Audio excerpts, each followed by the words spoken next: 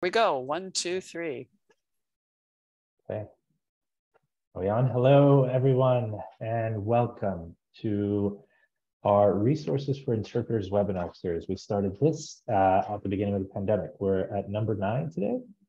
It's Trauma Basics for Interpreters when Trauma is in the Room, Foreign Language Interpreting about Traumatic Experiences. Uh, quick housekeeping item for all of you joining us. Uh, it is worth one CEU. Actually, the specifics of the CEU, um, Mira will, will let us know, but ATA, CCHI, NBCMI, IMIA, you do get CEUs for, for attending this webinar series. And today we actually have Lisa Fontes that will be joining us. Um, before I get to her bio, I wanted to mention if everyone, we'll probably repeat this a little bit later, but questions for CCC, if you could put those in the chat. If you have questions for Lisa Fontes, please put those in the Q&A. And so everyone will be trickling in for the next few minutes. As we know, Zoom doesn't let everyone in at the same time. But uh, I want to quickly introduce our speaker. So Lisa Fontes um, is a PhD. She's an internationally known expert on interpreting child abuse, intimate partner abuse, and sexual violence. Uh, as a researcher, activist, expert witness, and author, she works to protect the most vulnerable people from violence. She has written many journal articles and books, including Invisible Chains, Overcoming Coercive Control in Your Intimate Relationship, Interviewing Clients Across Cultures, Child Abuse in Culture, Working with Diverse Families. Uh, Dr. Fontes is a senior lecturer at the University of Massachusetts Amherst in the Department of Interdisciplinary Studies. Excuse me. She has worked as a family, individual, and group psychotherapist and has conducted research in Santiago, Chile, and with diverse peoples in the United States. Dr. Fontes is a popular conference speaker and workshop facilitator. She bought blogs for publications including psychologytoday.com and domesticshelters.org. In 2016, Dr. Fontes participated in a European summit on interpreting for children in crisis in Budapest. Uh, she has written several chapters on interpreting for people in crisis. So, um, without further ado, I don't know, Mira, uh, Marjorie, was there anything else you wanted to add? Uh, it's, it's pretty, certainly pretty just excited, pretty, uh, pretty thrilled, a little bit awestruck. Definitely yeah. very grateful that Lisa's joining us. I think it'll be a wonderful, wonderful presentation.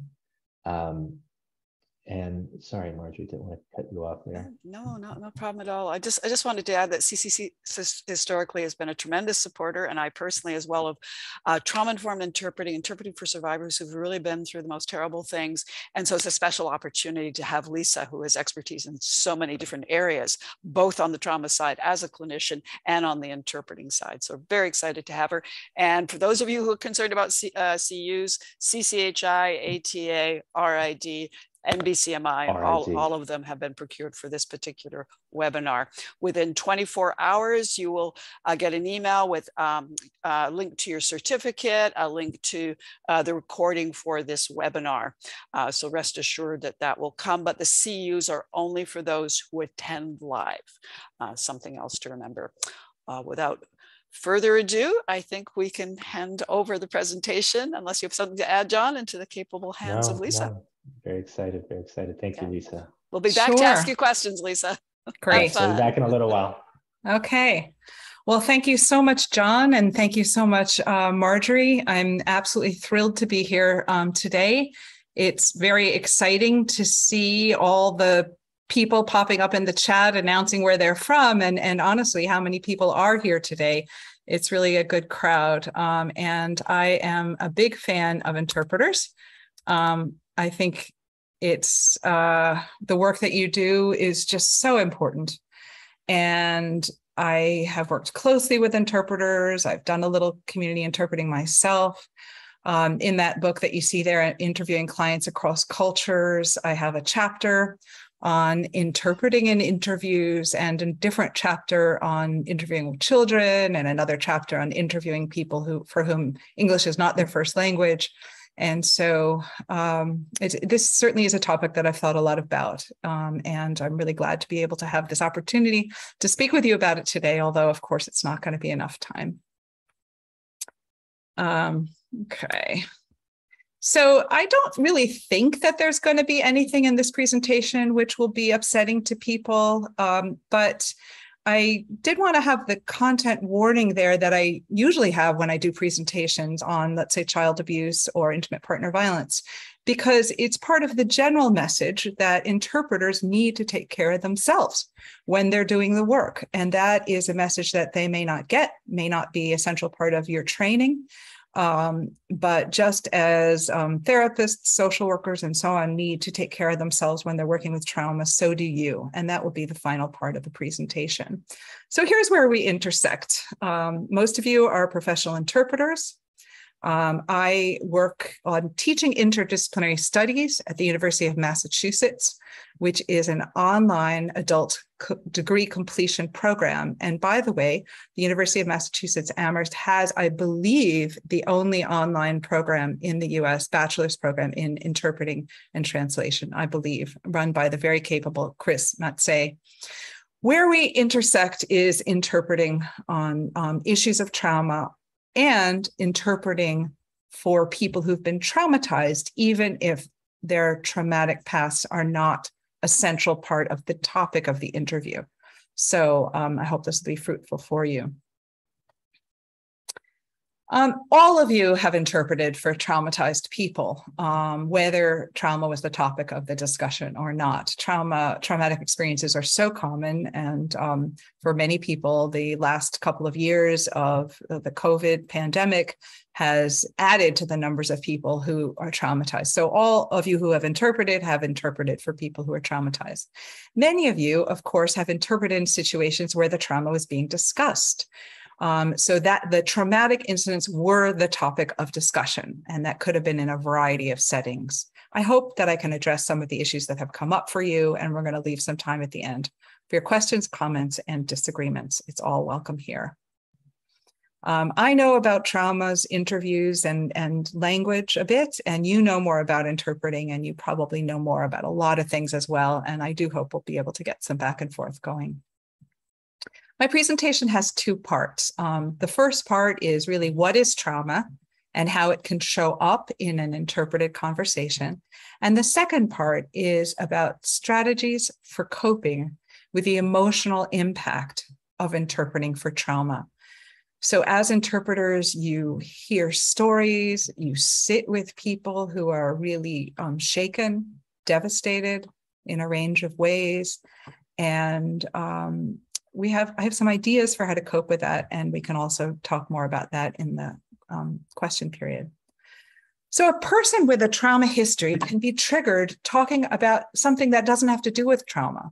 Like, let's say you say, I can't deal with child abuse. I don't want to interpret child abuse forensic interviews. Okay, you might say that, and therefore you would not interpret in a child advocacy center but you could be interpreting in a situation that seems not have to have to, have to do with trauma and issues of trauma could certainly come up and might be triggered for the person who has a trauma history. So for instance in a housing interview or in a ha- conversation about housing um, routine medical care uh, some something to do with money banking um, immigration issues certainly bring up a lot of uh, traumatic uh, incidents from the past. And then in even something as you know seemingly sort of as routine and mundane as insurance could trigger traumatic memories for people. So one cannot really decide if you're going to be an interpreter that you're not going to interpret in situations with trauma. Um, they're going to it's going to be there.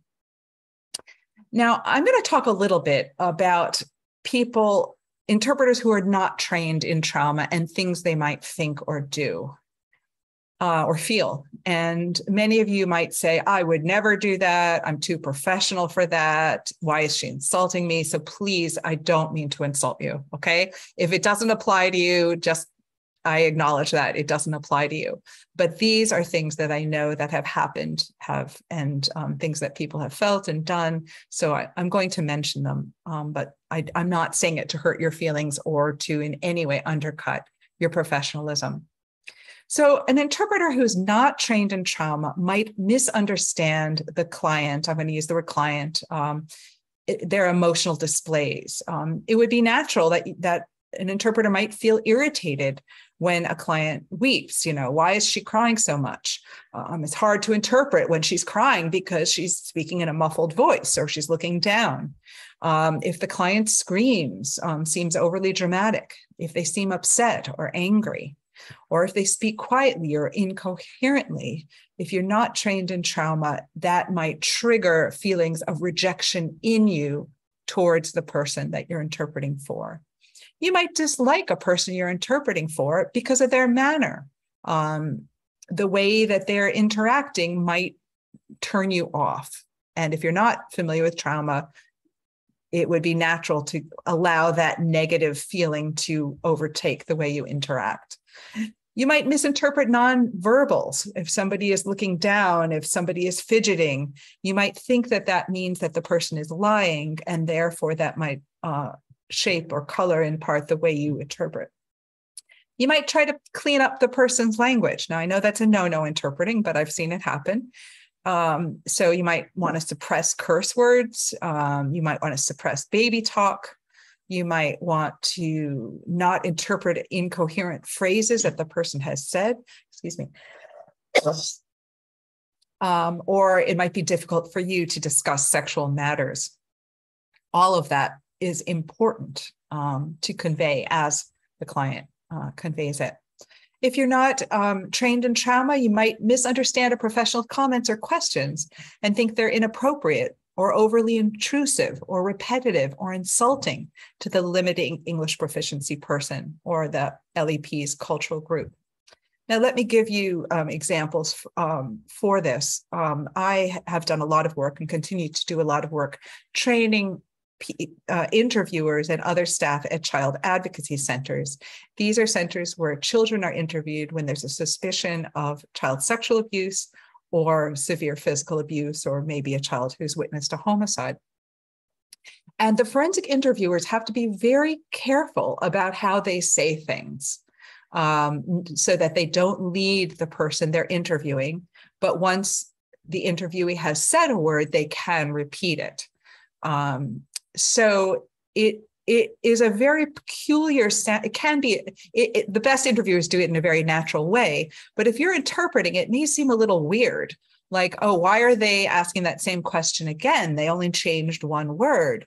Um, why are they why do they need such details about the sexual acts? Well they need them because it might determine the charges the legal charges that could be filed um, and so a, a, little background in trauma uh, will help you interpret in those kinds of situations and others better.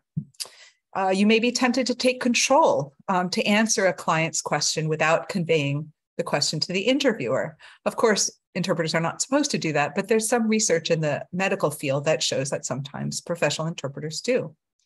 You might fail to empathize with the person um, being interviewed. Um, you might try to shame them, argue with them or condescend to them. Now, again, please don't, I'm not trying to insult you, but I'm, I'm just um, hoping that talking about trauma will help you avoid some of these potential traps. An interpreter who isn't trained in trauma might deny, might think that the person is lying, that these awful things could not have happened because you know what? It's a lot of awful things out there. And um, unless you're in the field like I am, sometimes you can't even imagine what what's really going on. Um, it's easy to deny. You might show bias. You might try to influence a victim's statements um, without even realizing that that's what you're doing. Um, you might fail to maintain confidentiality because you're so blown away with what happened. You just have to go and talk to somebody, and you might not have the support you need in terms of supervision or peer supervision or the right context to process because we do need context to process what's going on. You might, if a person who's being um, interviewed or in a conversation is very upset, you may want to intervene to calm them or to soothe them. And that would be a really natural, humane impulse, um, but is probably not going to be appropriate to the situation. So, what is trauma? Um, various definitions. People talk about three E's there's an event or a series of events or set of circumstances that is experienced by an individual as physically or emotionally harmful or life threatening, and it has lasting effects. So if something happens, but it doesn't really seem to affect anybody, we don't talk about it as being um, traumatic. Um, so it has to have all those three elements for us to consider it trauma. Now, this is, I'm going to give you like a really basic 101 course on the trauma response um, system. And please uh, look into it further. Um, there's uh, Oprah Winfrey wrote, wrote a book with Bruce Perry, who's just a brilliant psychologist who works on trauma. And um, I think the book is called What Happened to You? And that goes into this in much greater depth. So you can certainly find a lot more uh, in depth information available about there. So, our brains, the outer layer of our brains, the neocortex, is the most recent um, invention, if you want to call that, um, evolutionarily. On the inner part of the brain, the brain stem, and uh, outside that, the limbic system are more primitive or are present in um, animals that are um, less evolved than primates, let's say. Um, so you can talk about the thinking brain being the outside part and the emotional brain being what goes on in the inside. Of course, there's lots of communication back and forth. So this is kind of an oversimplification. So when there's a threat, whether that is a sudden um, uh, something in your peripheral vision that you think might might might be an animal or an intruder, or a loud noise that frightens you, or um, someone says something that fright frightens you. Um, maybe you're driving and you're you think you're about to get in an accident. The amygdala, the primitive emotional brain, senses it before the um, the thinking brain on the outside. I mean, maybe you touch something hot. Have you ever done that? You touch something hot and you remove your finger even before you're you have consciously thought that's hot. The thinking brain assesses the situation and says, and and makes some kinds of rational decision, some kind of decision about what to do about the situation. So if you see something in your peripheral vision and then you're um, rational brain, your thinking brain says to you, oh, that was just a leaf falling from a tree, then all is well. You've used your thinking to process it and your body calms down. But if the brain, if the thinking brain says, oh my gosh, that person is coming at me with a knife, then a lot of times the thinking brain goes offline and you respond physically in a more primitive way. So your emotional brain activates the fight, freeze, or flee response. It releases hormones, your pulse is raised, your hands get sweaty, and so on. Um, and that's a traumatic response. Um, I'll say the fourth F is fawning, which is trying to please somebody who is threatening you, but that comes a little bit later on.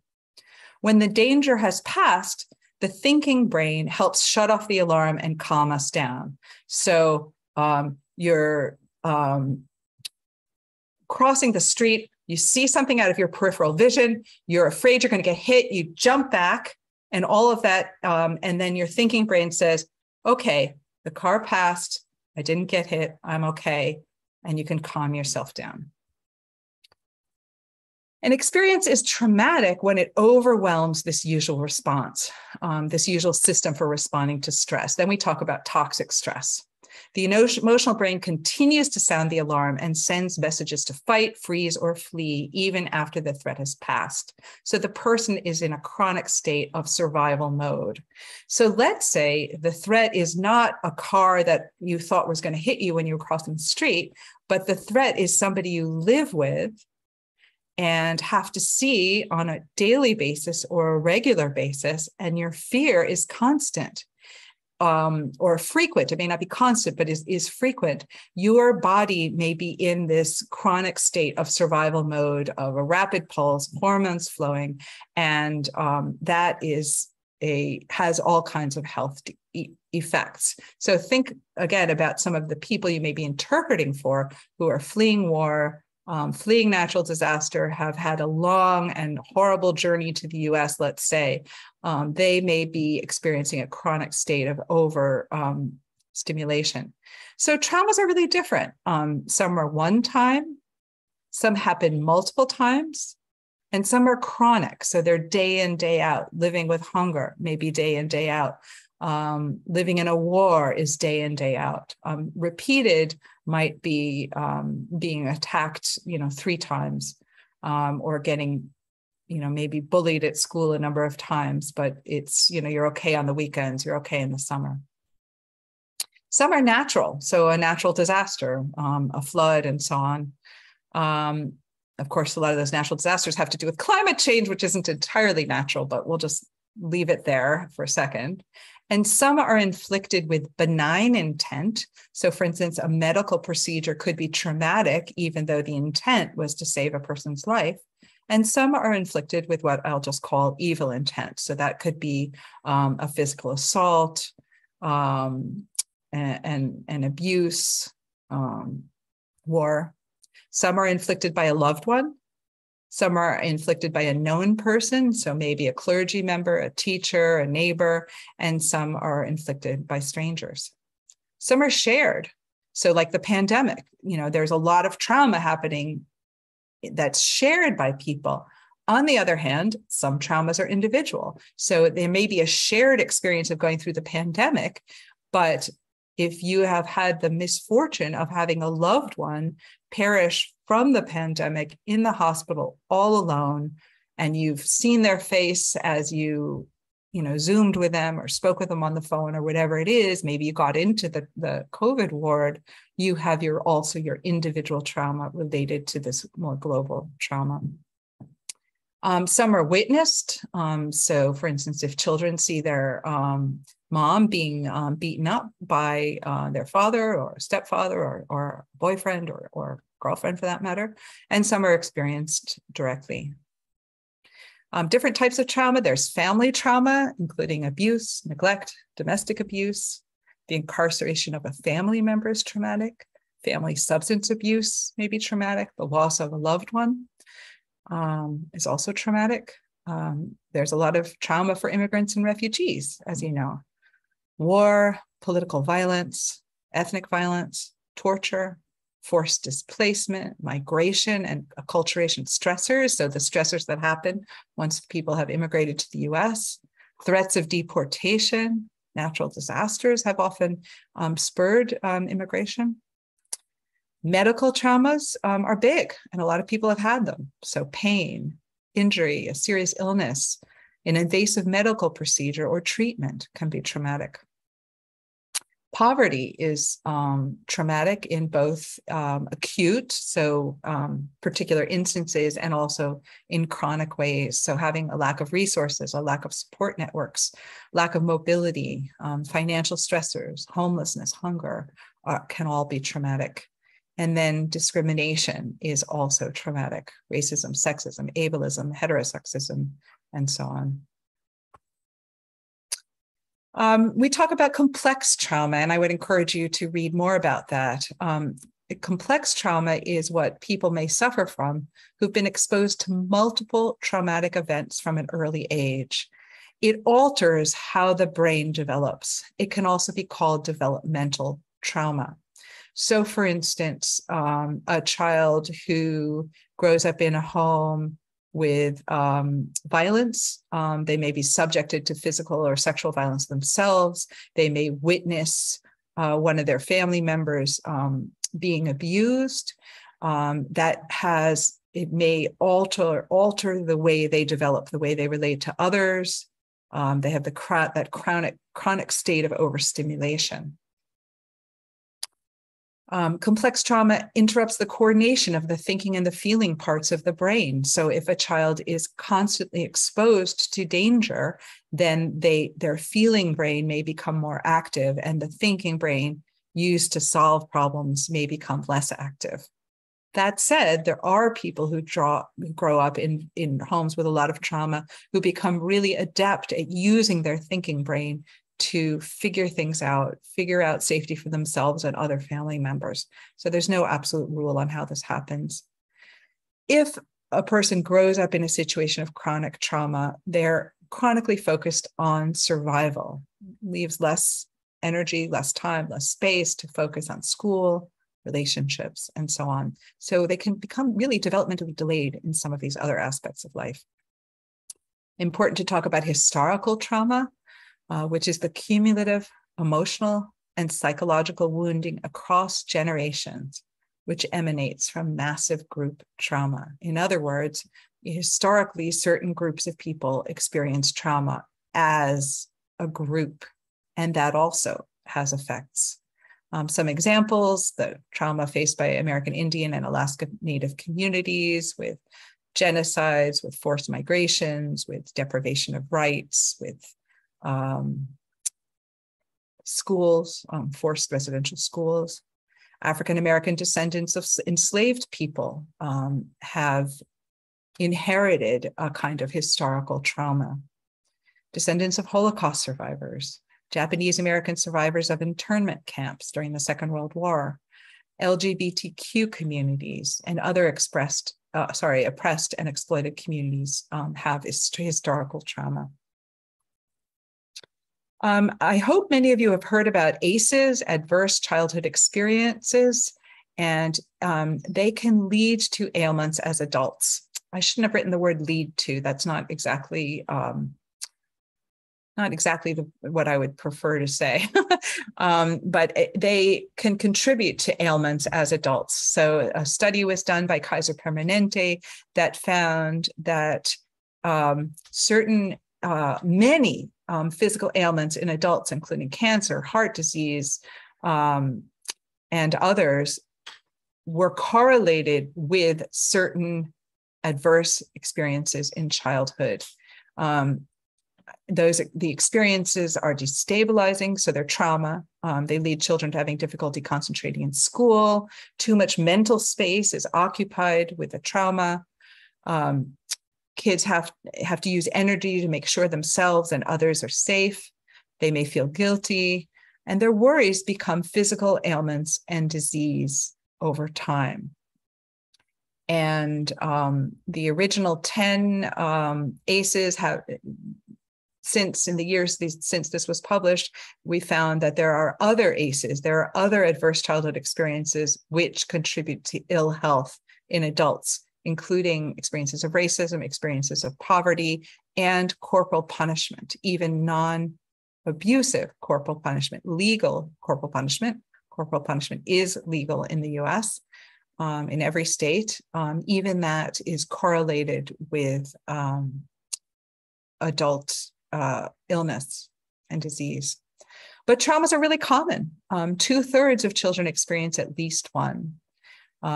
So, psychological, physical, or sexual abuse, community or school violence, exposure to intimate partner violence, national natural disasters or terrorism, medical traumas, parental loss or injury, neglect, accidents. Accidents are traumatizing. Getting a bad car accident. Very can be very traumatizing. Crime war hunger and so on.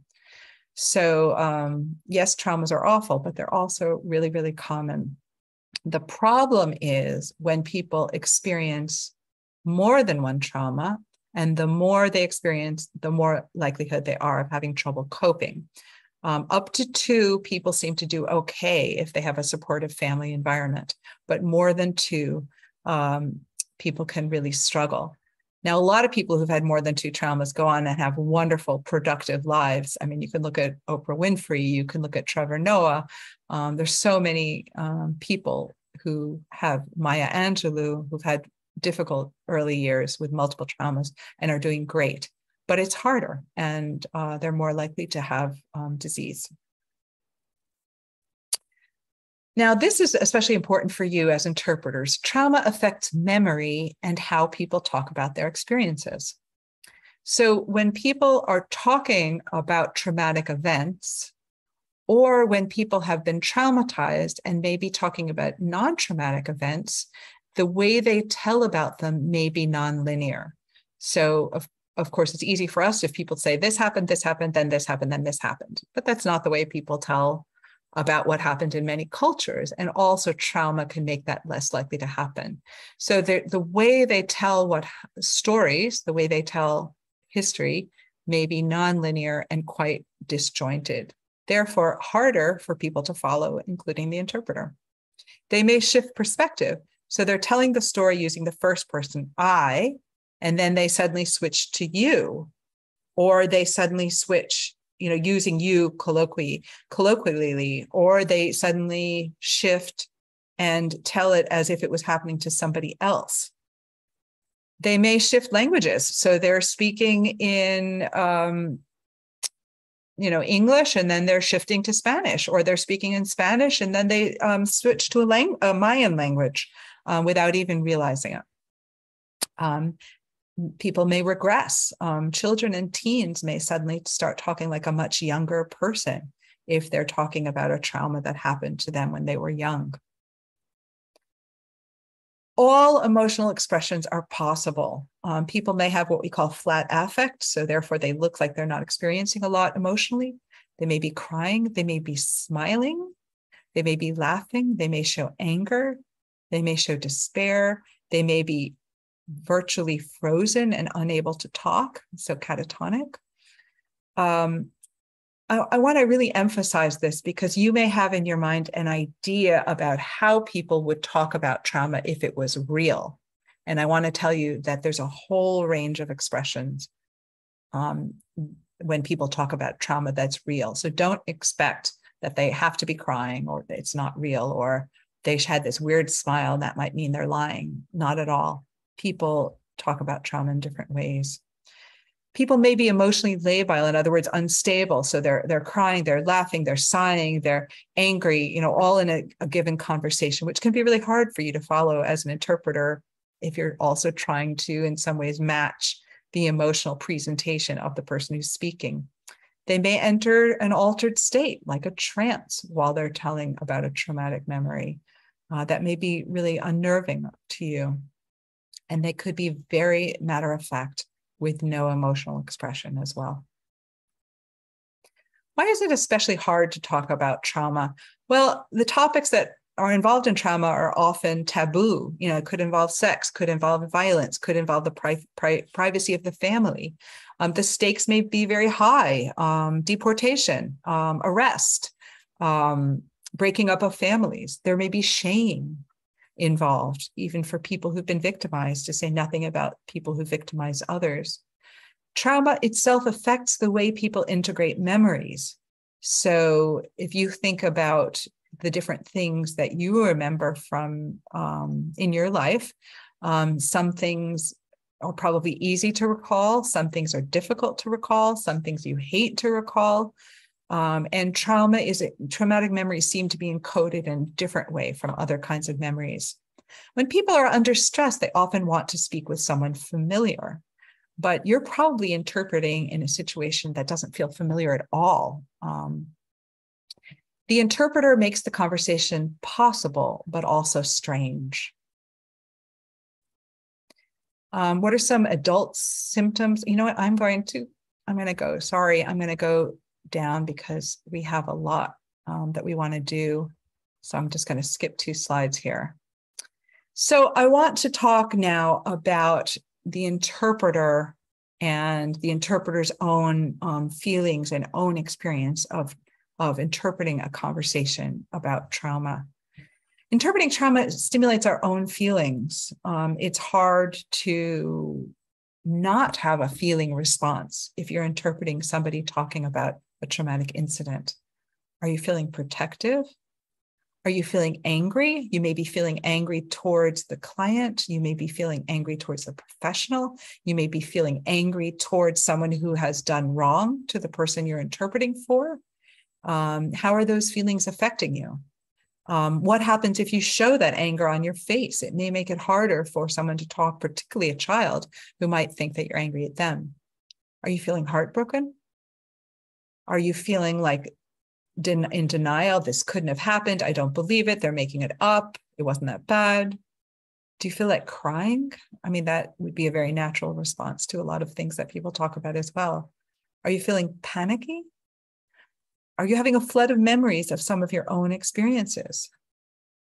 That also would be very common, especially if you come from um, a similar background to the pe- person you're interpreting for. And maybe your experiences are like those of the person you're interpreting for, and maybe you really haven't processed them enough. Um, so it'd be natural to have a lot of feelings. Try to set aside your strong feelings during the interview so your voice can be clear. In other words, not, I can't think about that, but just, I will come back to that after this conversation's over. What do you do to debrief emotionally after a really hard um, interpreting assignment? Now, let's say you're interpreting in a mental health situation or a social work situation, uh, maybe even a criminal justice situation, probably everybody else in the room has some kind of training on how to handle trauma. Um, they've, they've talked about it in class, they've talked about burnout, they've talked about um, self-management, secondary trauma, vic- secondary victimization, and so on. You may not have that, that training. They're likely to be part of a team so after this really difficult conversation, they may be able to process it with each other. Do you have a team of people who you can process your difficult interpreting assignments with? You probably should. Um, it will help prevent you from burning out and it'll help you do better work. Um, they may have clinical supervision. So, if they're in a clinical role, they may have a clinical supervisor who can talk with them about things that came up for them during this conversation. They may be in therapy themselves. Again, if you're from the same ethnic group um, as the limited English proficiency person or have had similar experiences, it may be especially important for you to debrief. Interpreting about trauma is grueling. Um, for my book, Interviewing Clients Across Cultures, I interviewed my good friend, um, Ilya Kornier, who is a, um, in, a interpreting trainer or was uh, maybe she still is i'm not sure in the courts in massachusetts as well as a very experienced court interpreter. And this is one thing she said to me.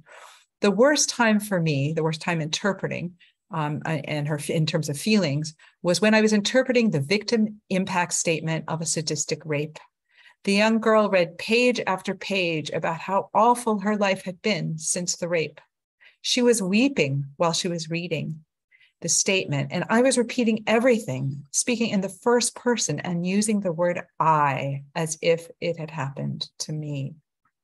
I was trying to put emphasis where she put emphasis and convey in my speech as much as I could the feelings she was conveying.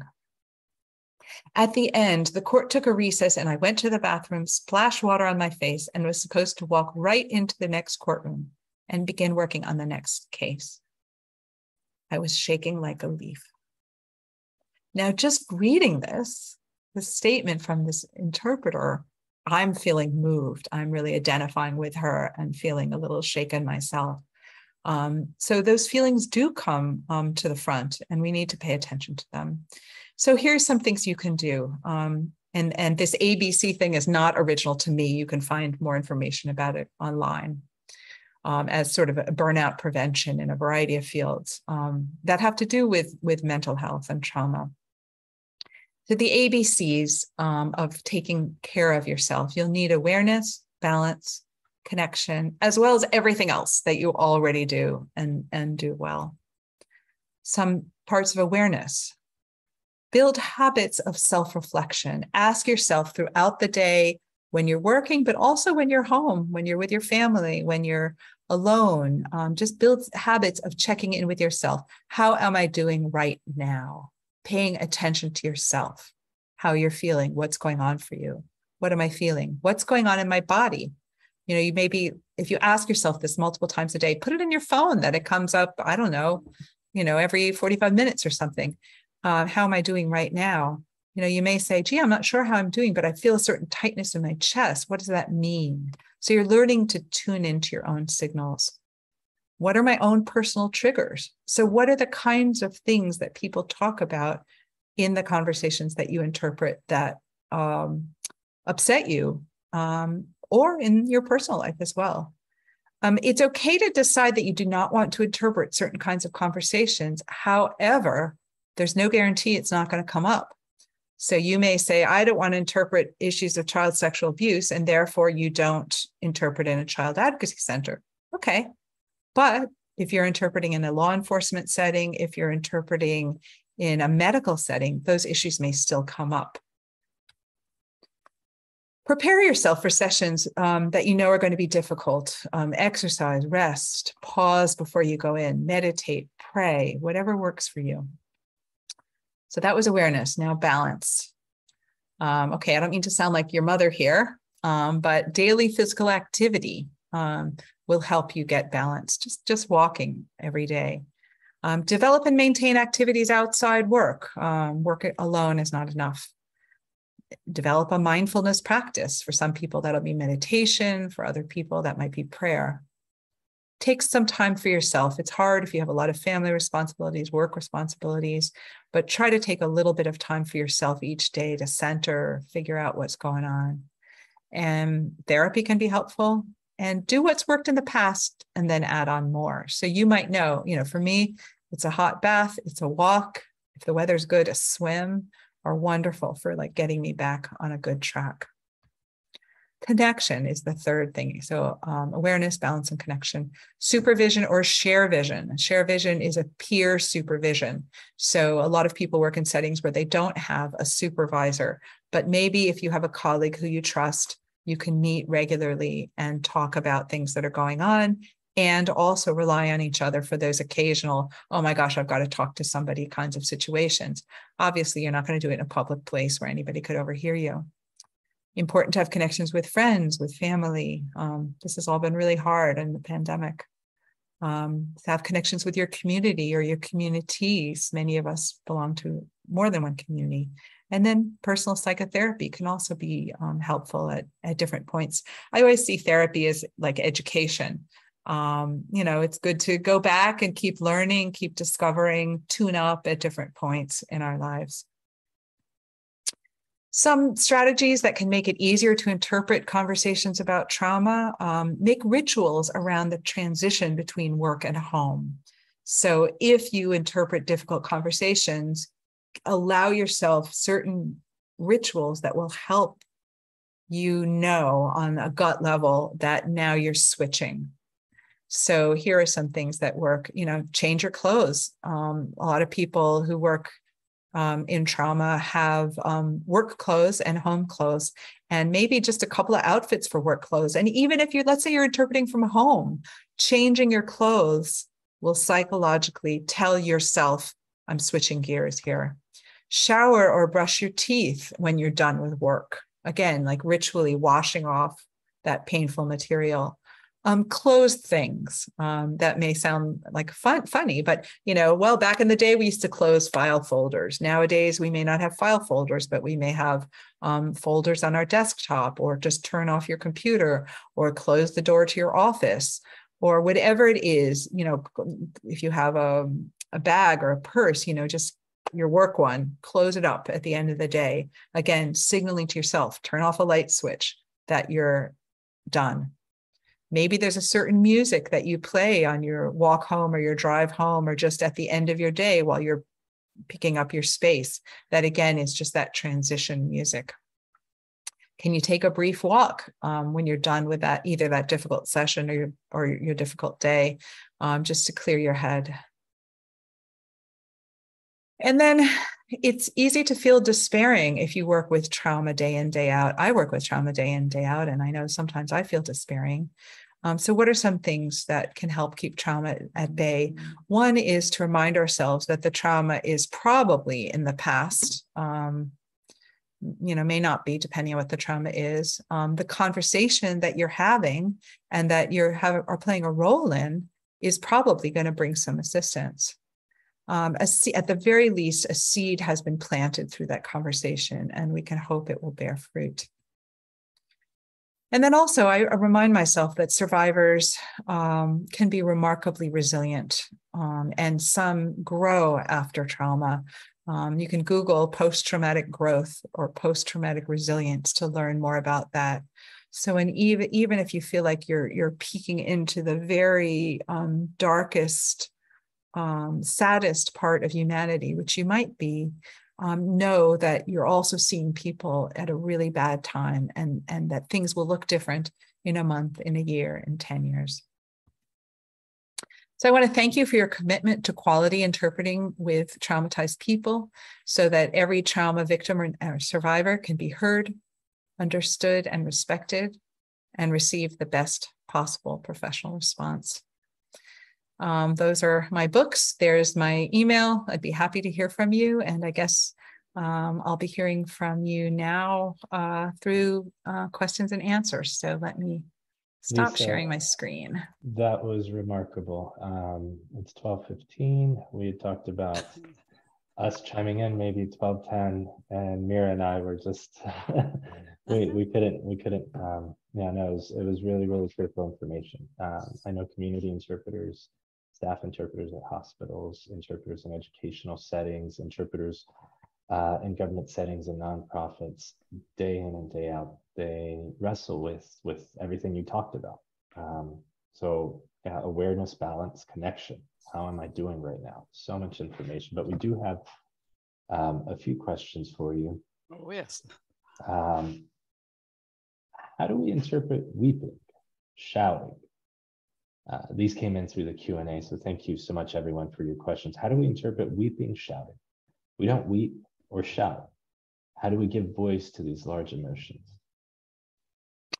I think that's an interpreting questions rather than a, a question for me. So, um, John and Mira, let me defer to you on that one.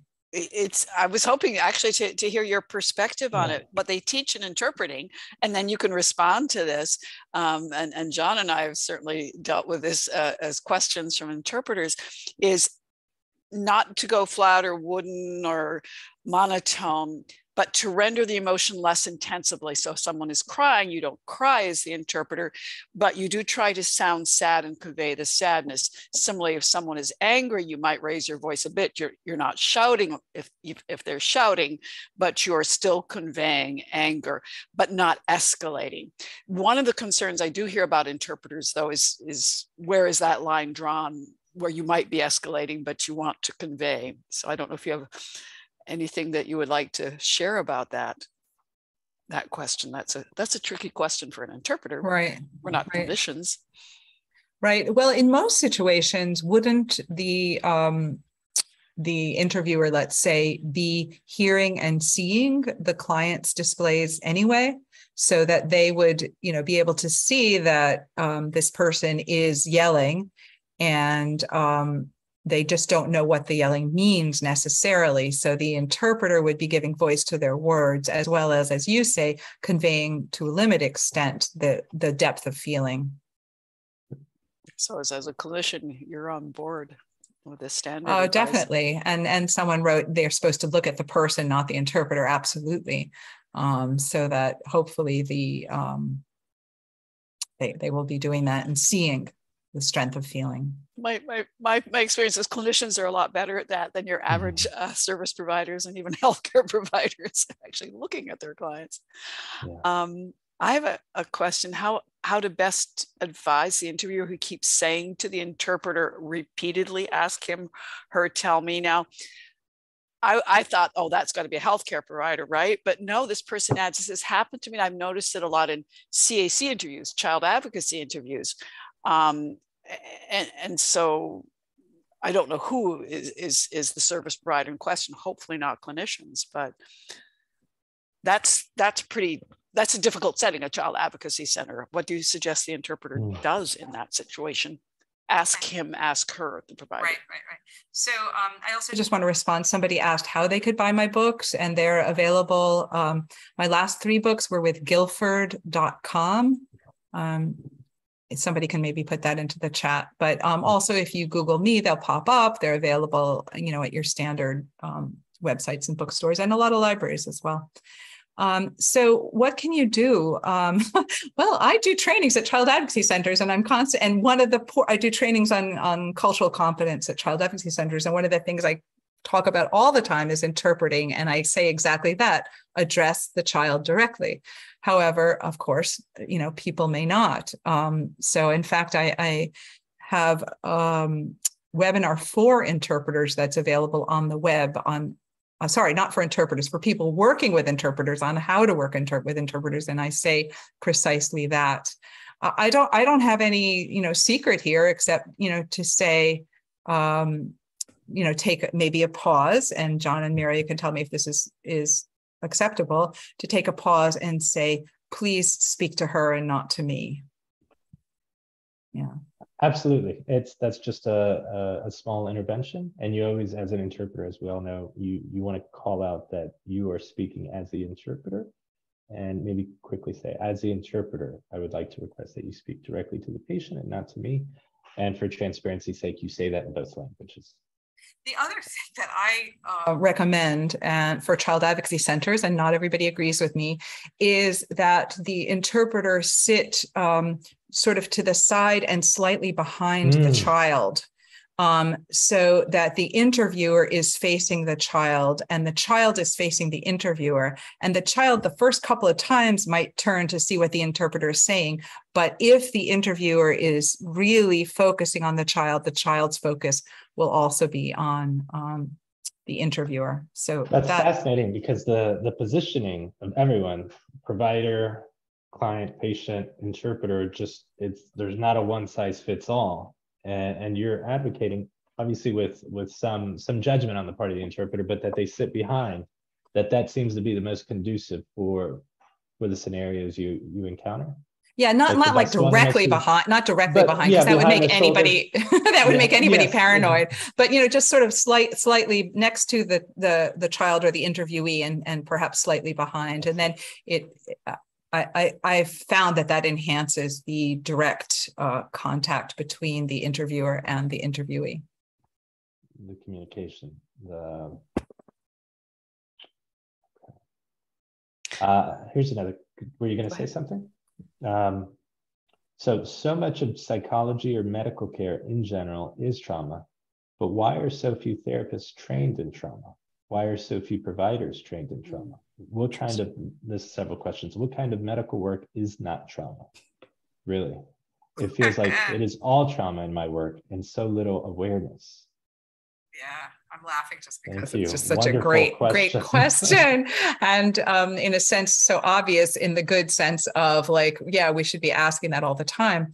So it is I have I have so many different thoughts about this. So I think that people are in the in the mental health field, people are definitely paying more attention to trauma than they used to.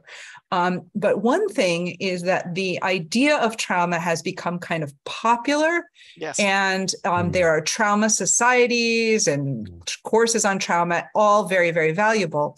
But they are not specific necessarily. So if you talk about child abuse, let's say, or violence against mm-hmm. women, then you're talking about a problem which eh, there's an obvious solution. You want to prevent those particular things. When you talk about trauma, sometimes what you're talking about is just more therapy. Are you following me? Oh, so yes. I think that um, I think there are certainly medical things which are not trauma. There are rashes, and there are um, you know there's sore throats, lots of things that that I think are not trauma. I do think that um, medical providers and mental health providers should be a lot better trained, not just in trauma, but in specific um, kinds of abuse um, and, and not just abuse, but specific kinds of trauma. I mean, it's interesting that in most states, teachers have to get a certain number of continuing education units in child abuse and neglect periodically,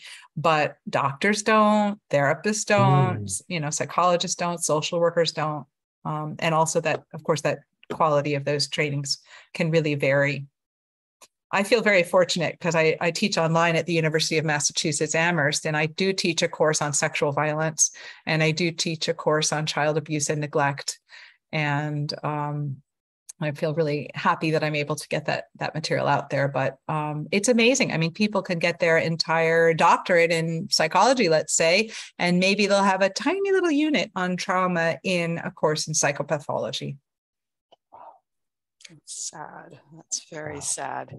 Um, this is a really interesting question. How to best or better interpret for the victim of sexual trauma when you are summoned as the second more experienced interpreter into the case after the first interview was botched in some way. Um, so you're coming into a sensitive situation. Is there anything that would be different from everything that you have just laid out um, today, or do you have extra words of advice in that more sensitive? Situation? I mean, I would just assume that all the any kind of conversation that you need to interpret around um, sexual assault or sexual trauma is going to be sensitive, going to be mm-hmm. maximally sensitive. So I would bring my best self, if possible, to every one of those um, interviews and conversations. Um, I think that their nonverbal conversation can be nonverbal communication can be really important. So when you, you know, when you walk into the room and you're introduced, acknowledging the person, you know, not just, you know, hello, but mm-hmm. you know acknowledging them you know maybe leaning forward a little bit you know smiling if mm-hmm. that feels like the right thing mm-hmm. but you know if if you feel inside like you're opening up your heart in this situation i think other people can feel that and yes. even though that's dangerous as an interpreter in a way because if you open up your heart you might be more upset but i i do think that that connection particularly with a survivor of sexual trauma um, can be can be really really important.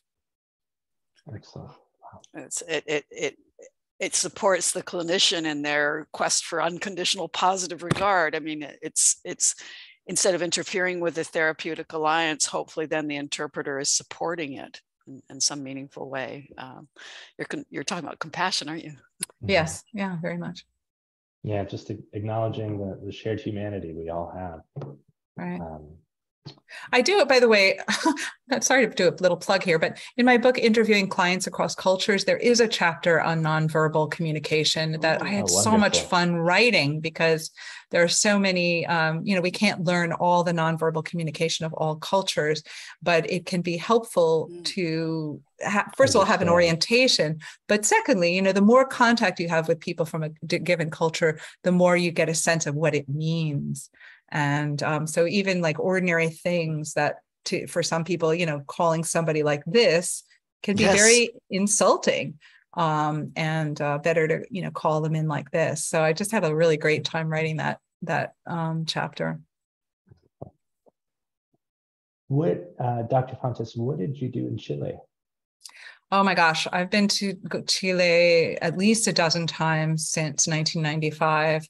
Um, I worked, the first project there was working with a wonderful community organization, EPES, Educación Popular en Salud, on um, child sexual abuse. Um, we did focus groups, and then then I sort of helped them get started on community interventions around child sexual abuse prevention because they couldn't rely on the government for anything, and they've been continuing the work for for remaining decades. And since then, I've continued to work with EPES on child sexual abuse, on intimate partner violence, and then also worked um, helping to establish child advocacy centers in Chile um, did some training of judges and prosecutors on um, sexual crimes.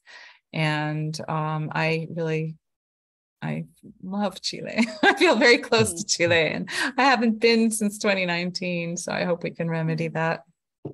Soon. Um, someone is asking if you can recommend any books on complex trauma. We had quite a few comments, by the way, on mm. how great it was that you were you were speaking about that and how important it was. So Bruce Perry is just brilliant, and the, the, he wrote a book called "The Boy Who Was Raised as a Dog."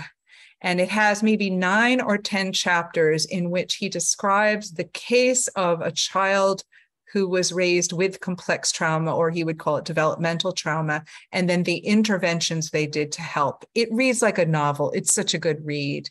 Um, and so I do really recommend that one. It, it, sounds like it might be very depressing, but actually it's really kind of uplifting. Um, and then the book he did with um, Oprah Winfrey, What Happened to You? Um, Bessel van der Kolk is a very yeah. big name in trauma, and he did a book called The Body Keeps the Score um, that is also I really recommend. Um, uh, for our audience, uh, I think that is the only book I've ever read where, as soon as I finished reading it, I started reading it over again and finished mm. it twice. Which one is that? That's the, boy, the book. The body oh. keeps the score. Yeah, yeah, yeah.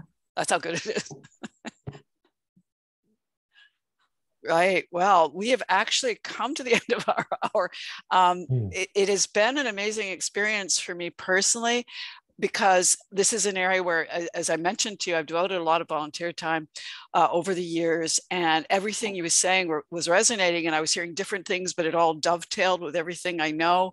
Um, some of the questions and answers that you were giving in the presentation, we, lots of chat response, lots of resonance, lots of interpreters saying, "Oh my gosh, this is so important," uh, uh, including, as I mentioned, complex trauma. Uh, we Mm. obviously had people from all over the states uh, tuning in, and, and, and many many hundreds, as you have seen. Uh, from Turkey and Dubai and Canada and Jerusalem and Argentina and all kinds of other places as well. Uh, so we can't thank you enough. This is really very, very generous and kind of you. I know for a fact that it is a very underestimated problem in the field for interpreters not having enough information about trauma, vicarious trauma, wanting to do the right thing, not knowing. And you really shared a lot of expertise today, and, and we are sincerely grateful. Thank Yes. you. Thank you all Thank for the work you. you do and thank you, um, John and, and Marjorie for the, for the work you do as well and for this opportunity. And Wonderful. people have my email. I'm easy to find if you want to Google me. So thank you. So, Awesome. and they will get, uh, everyone will get a, a, an email tomorrow with a link to, to the recording of the webinar and also to your certificate with, with the CEUs. So look out for that. And uh, meantime, wishing you a wonderful rest of your day. Hope you get back to, uh, to Chile soon. Oh, Yes, me too, yes. John. Thank you, Thank you, John. Dr. Fun when you do. Take care. Bye-bye. Bye.